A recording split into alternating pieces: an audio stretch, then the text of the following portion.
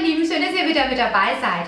Heute gibt es ein Get Ready With Me und zwar habt ihr euch dieses Video gewünscht. Ihr hattet ja gesehen, dass ich beim Revlon Event war in Berlin. Da haben wir eine Goodie Bag bekommen und da wolltet ihr eben wissen, wie die Produkte so sind, was ich daraus zauber, wie ich sie so finde und deshalb habe ich euch heute dieses Video abgedreht. Ich mache mich jetzt quasi gleich zusammen mit euch fertig. Einige Produkte habe ich schon getestet und einige eben noch nicht. Deshalb gibt es auch eine First Impression von mir sozusagen. Eine ganz, ganz ehrliche Meinung wie immer. Und jetzt würde ich sagen, wünsche ich euch ganz viel Spaß. Erschreckt nicht, ich bin gleich ungeschminkt und los geht's. Ungeschminkte Wahrheit, lasst uns ganz schnell beginnen. Es ist früh am Morgen und so sehe ich also aus. Wir starten mit einem Primer und zwar würde ich ganz gern diesen hier verwenden.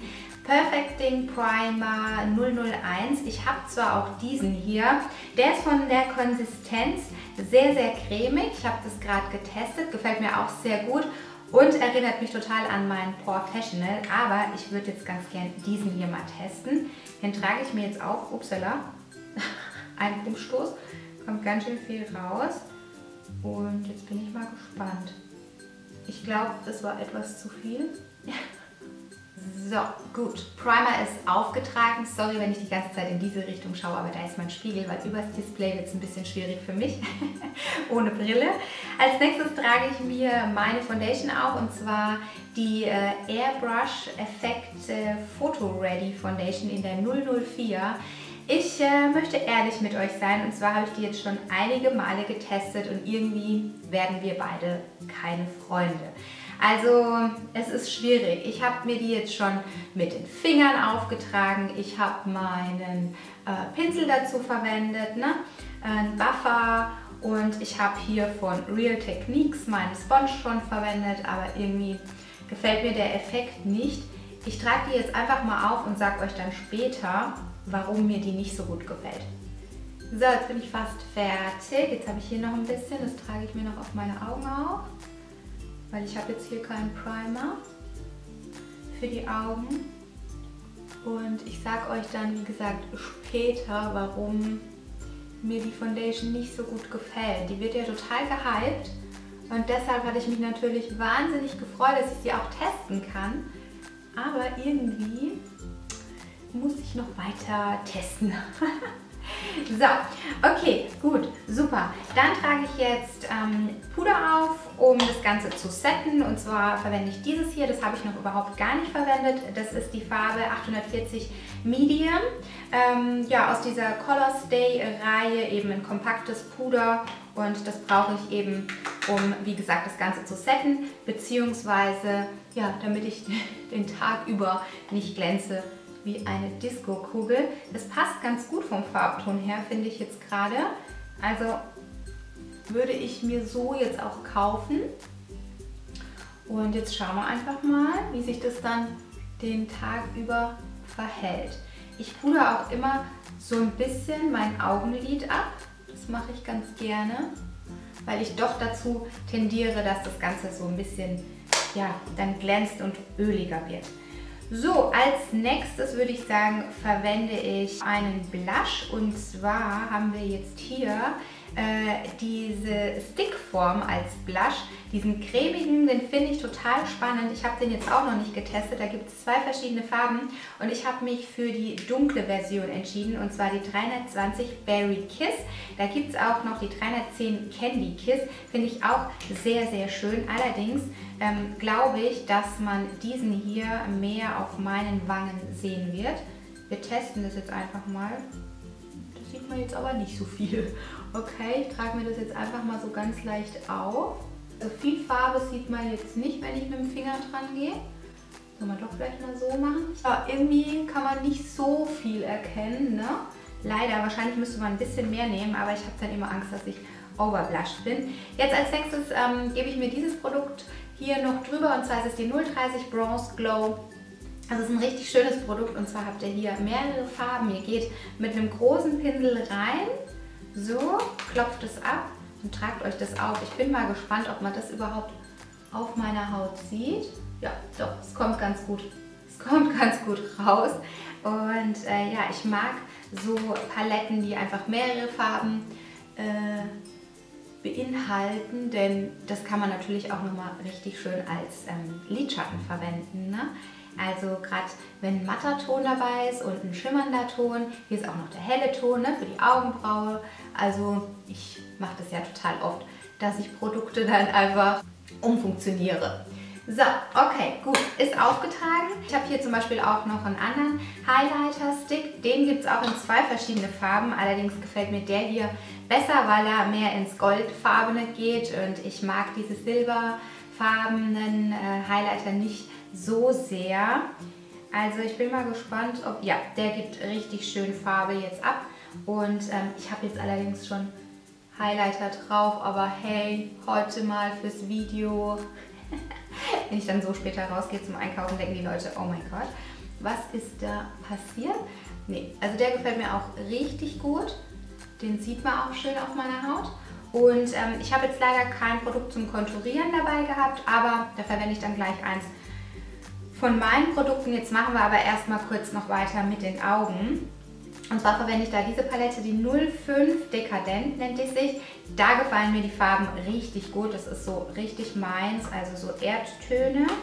Und jetzt kriege ich sie nicht auf. Moment.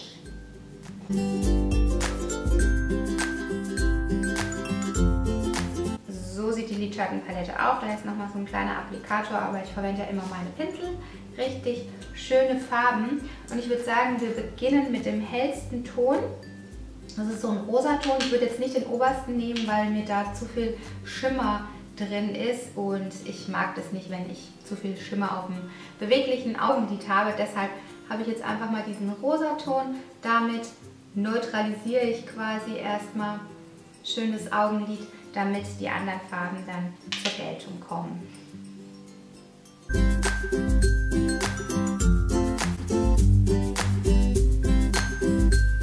Ja, also super pigmentiert. Ich kann es ganz, ganz deutlich erkennen. Obwohl ich keine Brille auf habe und der Spiegel ein bisschen weit weg ist. Also das ist schon mal mega. Gefällt mir sehr gut. Und jetzt würde ich sagen, gehe ich in diesen schönen dunklen Ton hier. Und ähm, ja, schau mal, was der so kann. Also der gibt schon mal gut Farbe ab. Und jetzt schauen wir einfach mal, wie der aussieht auf meinem Augenlid. Gehe damit in die Lidfalte, damit ich das Auge dann vergrößere optisch. optisch wie passend, ne? Fürs Auge. ja, kommt gut zur Geltung, finde ich. Kommt schön raus. Ich möchte jetzt heute nur einen etwas dezenteren Look schminken. Also ich muss ja jetzt dann gleich einkaufen und Kinder in die Schule fahren, arbeiten. Ne? Das wollen wir es mal nicht übertreiben ja früh am Morgen. Machen wir nur einen schönen leichten Look. Ja. Jo, gefällt mir richtig gut. Ich verblende das Ganze jetzt noch gerade mit so einem fluffigen Pinsel. Also die Palette, die finde ich schon mal mega. Also die überzeugt mich. Gefällt mir sehr, sehr gut. So, okay. Jetzt ähm, gehe ich gerade noch mit dem hellsten Ton, ich habe jetzt gerade den passenden Pinsel nicht da, ich gehe gerade mit meinem Ringfinger ein bisschen rein und mache das unter meine Augenbraue, damit ich die noch so ein bisschen anhebe, damit ich ein bisschen wacher aussehe. So, okay, gut, alles klar. Ähm, ja, meine Augenbrauen, die sind natürlich wieder so ein Thema für sich. Ich habe hier auch ein Augenbrauenprodukt. Wir sind übrigens mit den Augen noch nicht ganz fertig, ne? aber ich mache jetzt erstmal die Augenbrauen.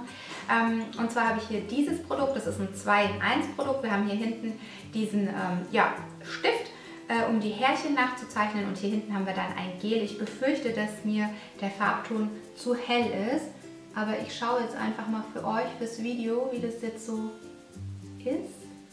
Also von der Konsistenz her schon mal sehr, sehr gut. Er ist nicht zu weich, aber auch nicht zu hart. Aber vom Farbton her passt es leider gar nicht. Also das ist definitiv viel zu hell. Ich muss da ein Produkt von mir holen. Ähm, ja, und hier hinten das Pinselchen brauche ich dann jetzt auch nicht zu verwenden. Damit fährt man dann quasi nochmal so schön an die Augenbraue dran und kann das Ganze nochmal definieren bzw. fixieren. Ich hole mal eben meinen Augenbrauenstift. Ich habe jetzt mein Gesicht konturiert und habe mir einen Lidstrich gezogen mit dem Liquid Liner. Da muss ich sagen, dass mir die Farbe sehr, sehr gut gefällt. Das ist ein tiefes Schwarz. Das ähm, Pinselchen vorne ist auch richtig schön gemacht und zwar ist es sehr fest gebunden. Vorne ist die Spitze auch richtig schön. Ihr braucht halt eine ruhige Hand, aber ich glaube, das ist klar bei einem Liquid Liner. Ich habe leider keine ruhige Hand, so ist es nun mal. Aber ich glaube, für die, die ähm, ja, sich öfters einen Lidstrich ziehen und das sehr gut können, haben die Möglichkeit hier was richtig Schönes zu zaubern. Ähm, ich habe mir dann auch noch Mascara aufgetragen und zwar habe ich dazu diese hier verwendet. Und äh, lasst euch nicht irritieren von der Farbe der Kappe. Das hat nichts damit zu tun, dass die Farbe so wäre, der Mascara. Nein, das hat eher was damit zu tun, was die Mascara mit euren Wimpern macht. Ich habe jetzt diese Version hier und ich muss sagen, also so dramatisch sieht es jetzt nicht aus. Ich ähm, nutze die auch für den Alltag. Gefällt mir sehr, sehr gut. Trennt auch schön meine Wimpern und ich bin mit dem Ergebnis sehr zufrieden und ich komme auch mit dem Bürstchen sehr gut klar. Und zwar sieht es so aus, das kann ich euch ja mal zeigen. Also ich finde die richtig gut für wie gesagt. Und jetzt trage ich mir noch was auf die Lippen auf. Und zwar habe ich jetzt hier diese beiden Versionen. Ich stehe ja total auf Pink, aber diesmal entscheide ich mich für diesen hier. Der ist ein bisschen auffälliger, aber der hat euch auch sehr, sehr gut gefallen. Den habe ich ja bekommen und da ist auch mein Name drauf graviert. Äh, ich mag ja so personalisierte Sachen total gerne und die Farbe hat euch auch, wie gesagt, sehr, sehr gut gefallen, weil ich die dann bei meiner Verabschiedung drauf hatte, bei meinem Event-Video, falls ihr das übrigens noch nicht gesehen habt, ich verlinke es euch mal unten in der Infobox. Da sind ganz, ganz viele tolle Neuigkeiten eben, wie gesagt, und ähm, ganz viele tolle YouTuber auch dabei. Die Dunja Slimani, meine Steffi war dabei, die Hatice Schmidt und so weiter. Schaut gerne mal in das Video rein.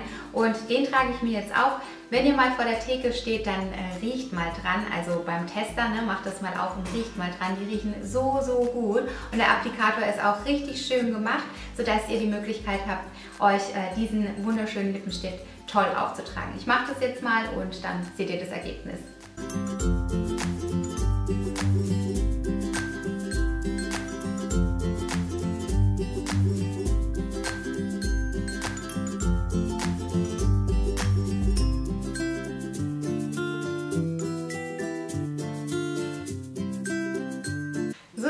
Aus und ich wollte euch noch ganz kurz diesen hier swatchen, weil der auch so, so schön ist. Falls ihr auch auf so eine Farbe steht, ne, ist natürlich jetzt auch nicht unbedingt was für den Alltag vielleicht, aber ähm, ich mag das sehr, sehr gerne jetzt gerade für den Sommer. Richtig schön. Und ähm, ja, das war es jetzt erstmal soweit. Ich mache jetzt noch ganz geschwind meine Haare mit euch und ich wollte euch eigentlich noch diesen wunderschönen Nagellack hier zeigen. Ich würde sagen, ich blende euch das jetzt mal ein, wie das auf meinen Nägeln aussieht. Ich habe den nämlich auch schon getestet und der gefällt mir auch sehr, sehr gut. Er hat auch recht lang gehalten und ähm, ja, den wollte ich jetzt auch mal zeigen, weil ich den eben, wie gesagt, auch in meiner Goodie Bag hatte. Das waren jetzt die Produkte, die ich eben in meiner Goodie Bag hatte und ich wollte euch ja eigentlich noch was ähm, über die Foundation sagen. Ich muss mir dann übrigens noch ein anderes Oberteil anziehen, ne? ist klar. Aber ist jetzt erstmal egal. Ähm, ich wollte euch noch sagen, dass ich diese hier auch noch in der Goodie Bag hatte und die werde ich auch gerne für euch testen. Und zwar ist es diese ähm, ja, Combination Oily äh, Make-up 350 habe ich jetzt hier die Farbe mit Lichtschutzfaktor 15. Ähm, hier ist der Lichtschutzfaktor 20. Also die teste ich auch sehr, sehr gerne für euch und sage euch da meine Meinung. Jetzt kommen wir mal zur Foundation, da wollte ich euch ja noch was dazu sagen. Also ich ähm, finde, dass sie bei mir meine Fältchen erstens mal sehr stark betont und das will natürlich keine Frau. Ähm, und sie wird auch so, ja, also sie ist erstens mal vom Auftrag her sowieso schon sehr ähm, fest und äh, meiner Meinung nach ist da zu wenig Wasseranteil enthalten. Also für mich jetzt, für meine Haut. Meine Haut ist scheinbar überhaupt nicht dafür geeignet. Ähm, ja, sie ist so klebrig. Wisst ihr, wie ich meine? Also sie lässt sich nicht so schön verteilen und ähm, ja, sie ist einfach klebrig. Also wenn ich da jetzt so dran gehe, ne, das ist irgendwie komisch. Aber gut, mir kann ja nicht alles äh, gefallen, beziehungsweise es kann ja nicht alles genau abgestimmt auf meine Haut sein. So ist es halt nun mal, deshalb teste ich ja Dinge und sage euch dann eben auch, wie sie so bei mir ist. Deshalb kann ich sie nicht hypen und deshalb kommt sie bei mir auch nicht an erster Stelle. Und das war es jetzt soweit von meinem Revlon-Video. Ihr habt euch gewünscht, dass ich mich damit mal schminke. Das habe ich jetzt heute getan. Ich hoffe, dass euch der Look gefällt. Also mir gefällt es so ganz gut. Ich werde jetzt natürlich so auch rausgehen und ähm, ziehe mich jetzt noch schnell um. Und, ähm, ja, dann war es soweit von meinem Video. Ich hoffe natürlich, dass es euch gefallen hat. Lasst es mich gerne wissen. Schreibt mir in die Kommentare, was ihr euch vielleicht schon zugelegt habt, ob ihr die Theke überhaupt schon gesichtet habt bei euch im Rossmann. Und ansonsten freue ich mich natürlich, wenn ihr bei meinen beiden letzten Videos mal vorbeischaut. Abonnieren ist kostenlos, dann verpasst ihr keine Videos mehr von mir. Jetzt wünsche ich euch noch einen wunderschönen Tag oder Abend. Lasst es euch gut gehen und hoffentlich bis zum nächsten Mal. Tschüss!